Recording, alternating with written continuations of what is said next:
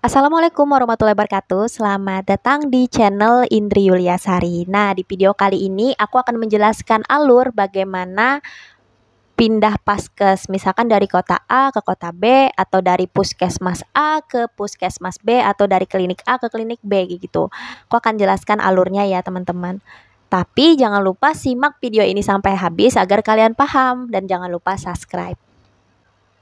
Oke teman-teman untuk memindah paskes kalian itu, kalian bisa menggunakan dua cara. Cara yang pertama melalui aplikasi mobile JKN.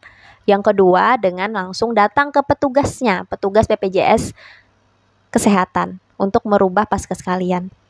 Aku akan jelaskan yang pertama dulu ya. Pakai aplikasi mobile JKN. Kalau kalian bisa login ke aplikasi mobile JKN itu, ya artinya kalian bisa langsung ubah paskes kalian di aplikasi tersebut.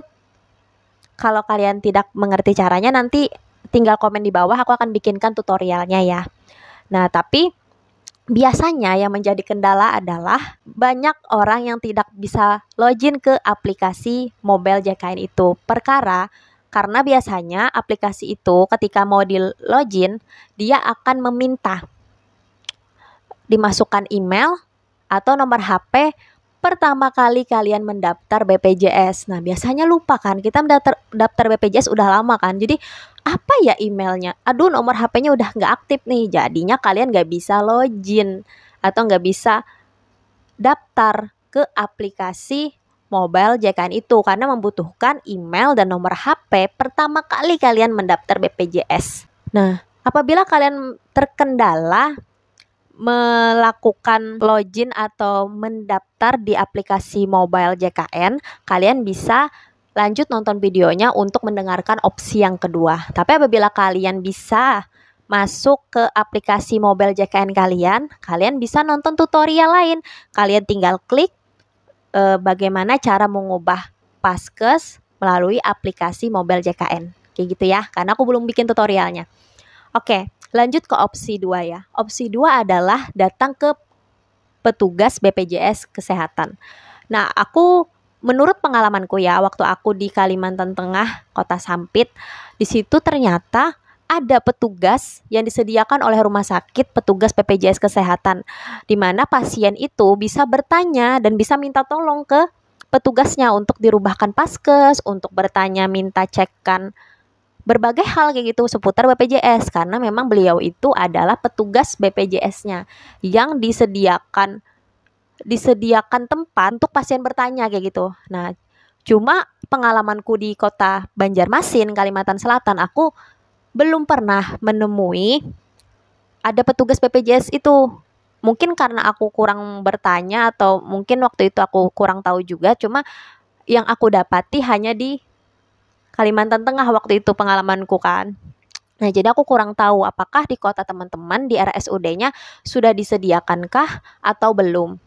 Nah, kalian harus bertanya ya kepada uh, petugas di lok loket. Misalkan kalian ini bertanya aja, Mbak, saya mau ubah paskes nih, bisa nggak kira-kira. Di di rumah sakit ini ada nggak petugasnya? aku kemarin kayak gitu aku kan berobat pakai umum. Uh, tapi aku ada BPJS tapi BPJS ku di kota Banjarmasin Kalimantan Selatan. Nah aku bertanya tuh aku ada BPJS mbak cuma masih kota Banjarmasin mau ubah gimana? Oh rubahnya bisa kok di rumah sakit ini ada petugasnya silahkan ke loket yang ini katanya. Nah kayak gitu kalian harus banyak bertanya ya Nah, apabila misalkan kalian bertanya ternyata tidak ada petugasnya di rumah sakit tersebut, kalian harus ke, kantor BPJS Kesehatan di kota tersebut untuk minta ubahkan. Nah, lanjut ketika kalian di depan petugasnya, apa yang harus kalian katakan? Nah, kalian bilang aja, "Pak atau Bu, saya mau ubah pas ke saya." Dari kota A ke kota B atau dari puskesmas A ke puskesmas B. Nah, biasanya mereka cuma meminta kartu BPJS kalian untuk mereka input nomornya. Nah setelah mereka input biasanya langsung bisa mereka ubah. Mereka akan tanya mau ke mana bu tujuannya kayak gitu. Bilang aja kayak gitu. Misalnya mau tujuannya ke kota ke kota B kayak gitu.